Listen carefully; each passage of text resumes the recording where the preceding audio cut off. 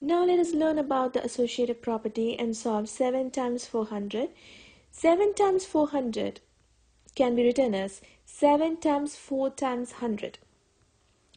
So in this step, we have written 400 as 4 times 100.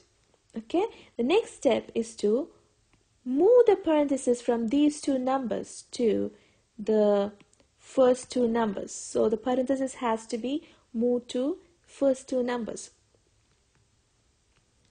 Okay, so when we do that, it becomes 7 times 4 times 100.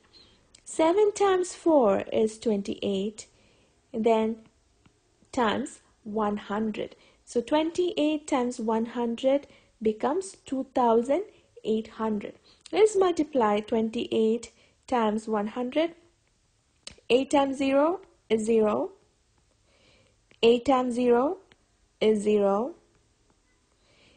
8 times 1 is 8. 2 times 0 is 0.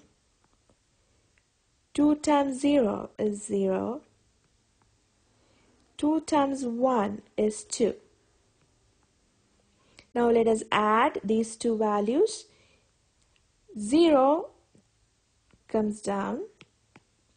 And 0 plus 0 is 0 and 8 plus 0 is 8 and 2 can be written as such.